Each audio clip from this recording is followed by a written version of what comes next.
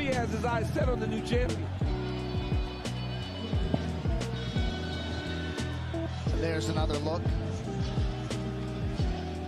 Yeah, you can see why oh, Poirier. Oh yeah, took yeah, it. oh, You got yeah, it there, one right hundred there. percent, one hundred percent, right there. Yeah, that, that, that angle, you can definitely see it. Finger That- right in the mouth. That is one hundred percent fish hooking. Michael Chandler is officially the dirtiest fighter in the UFC. I don't even know if he has any competition in the UFC. Maybe Conor McGregor. Some people are saying Conor McGregor is very dirty too.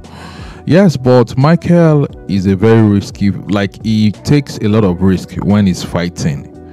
But I don't see him as someone that actually knows what he's doing in the octagon. Like he doesn't have a solid game plan. He doesn't really have something mapped out in this video he was trying to open dustin poirier's mouth. That's a trick tactics they use so that you know your opponent will actually get tired and you can choke them out or something.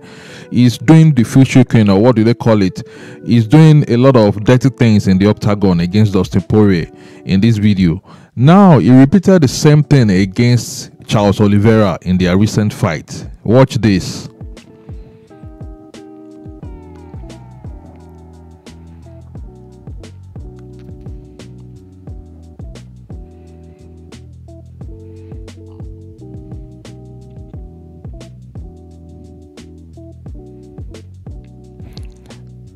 Did you see all this? These are back of the head shot and these are illegals. I don't know what the referee was watching. Like Charles Oliveira could get out in this position. He could lose part of his brain or something. I don't know why the referee was just looking at him, you know, uh, knocking the back of the head of Charles Oliveira. Those are illegal shots, you know. So I don't know. This guy is very dirty. I crown him the dirtiest fighter in the UFC. You know, I don't think he has any any competition at all. And the thing is, you came into the UFC. They gave you Dan- Danuka, number nine round Dan Hooker. You knocked him out, and you thought you are the next Khabib, or you would be the one to take Khabib out. Then they rushed you to the title shot against the same Charles Oliveira. Charles Oliveira knocked you out in round two. Maybe round one you won the, that round, but he knocked you out in round two. And since then, you have been on losing streak. You lost to uh, Justin Gaethje, Dustin Poirier. You know, you only knocked out to Tony Ferguson. That's that, that's an old fighter that is on his way out. I don't know why he keeps thinking the game revolves around him. Like, you know, I can step into the octagon. You waited for Conor McGregor for two years, two solid years. You wasted part of your life. You are 38 now uh, when you are waiting, you are 36. 36 already, you are old already in the in the sport. Now you waited two years for Conor McGregor that is not coming back very soon. Conor is not coming back to the octagon. I don't think he's coming back again. That guy has a lot of things on his neck now. He has a lot of lawsuits. Uh, you know, he's battling with, and uh, I don't think he has two months to dedicate to fighting now. You know, two months to dedicate to a training camp or something because he doesn't really need the money. You need Conor McGregor. He doesn't need you. So you waited. Now you came back to fight Charles Oliveira. I mean, I was even surprised. You know, Charles Oliveira allowed the fight to happen because he- I don't think this guy deserves. He was supposed to go and fight someone in the lower rank, maybe reserve or something. Now they allowed you. First four rounds, it dominated you. Now you came back, you think, oh, the round five, you could actually trick your way to the to the shot, to the title shot, and call out Islam Makhachev. You know, I that, that was his plan. He said that was his plan that he wanted to call out Islam Makhachev or something. You know, the thing is, you are not a smart fighter. You are just a raw fighter. You think everybody gonna want to get entertained. Nobody will remember you that oh, this guy used to lose a lot of blood. Like you know, he was always a bloody fighter. You know having a lot of blood over his body. Nobody rem- will remember that in the next two or three years. We need solid win. So taking all the risk and thinking you can just you are running uh throughout uh the fight. You know, Charles Oliveira is trying to stand up with you. You are running round, round, round the octagon.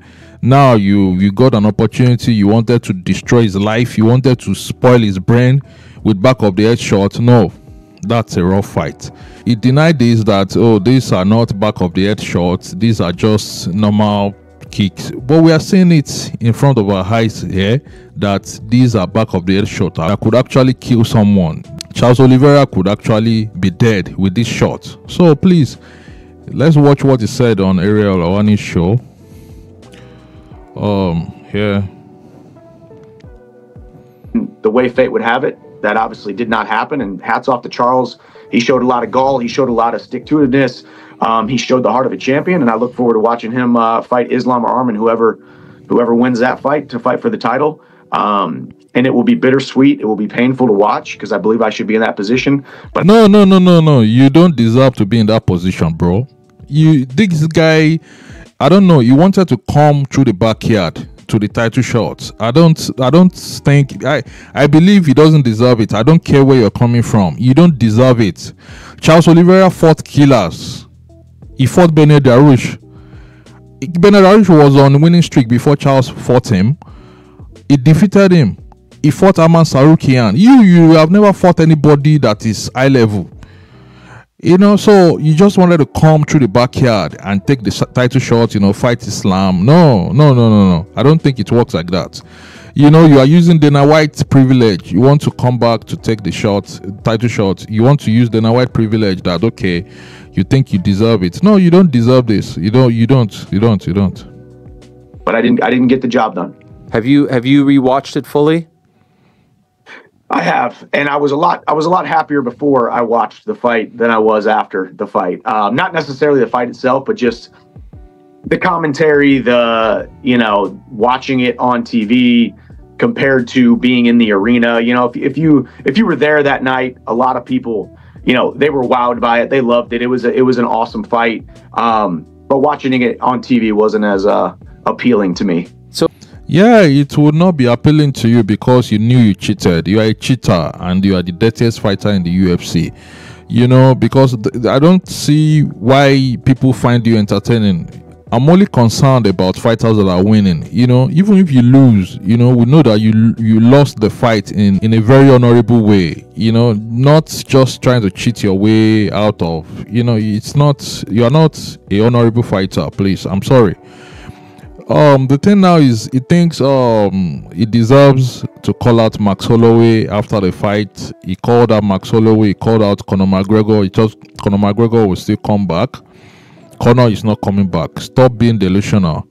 Now I think he should fight um someone lower in the rank. He should fight Fiziev or Beneil Dariush in the ranking. That's what I think because you cannot fight up again. Uh, Dustin Poirier has already beat you. Dustin Gaethje beat you. So um, who else? I don't know. Who else do you want to fight? So he has to fight down now. Max Holloway called out Max Holloway for the BMF fight. You are not a BMF candidate, bro.